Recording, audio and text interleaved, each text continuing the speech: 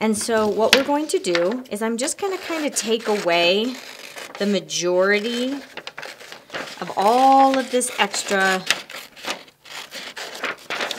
black around her. Just trying to take away anything that we don't really need to transfer.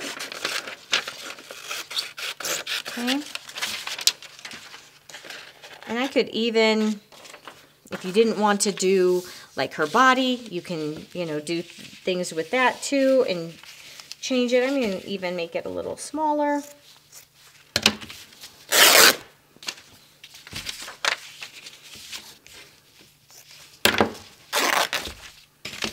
All right, so I have my washed drop cloth and I have my laser image and I'm going to put her face down. I have some Citrisol and I have my brush right here and you don't need a ton.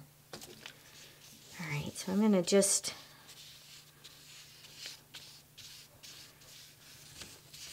Put the Citrisol right on the back here.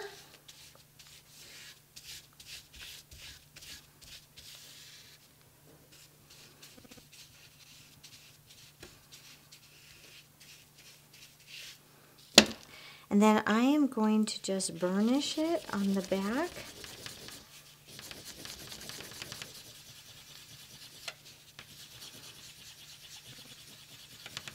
I'm going back and forth and I'm pressing very hard.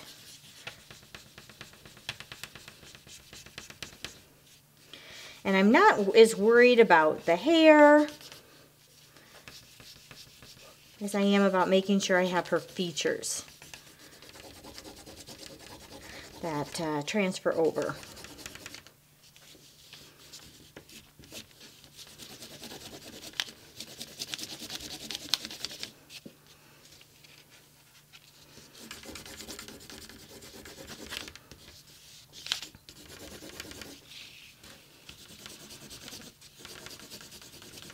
And the nice thing is you can use your own art for this, your own sketches. Take a photo of it with your phone, print it out on your laser printer, and you can use that.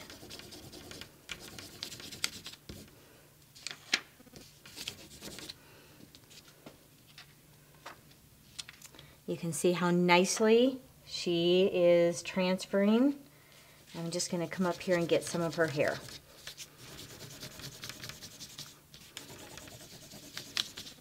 And if you, um, once we've transferred it, you can even wash this, but before you wash it, I would just have you take like a like a cloth um, on top of this and then iron it with the cloth in between your new transfer and the iron. Okay. So this is a wonderful way to get your image onto your fabric. You can see how clear that is.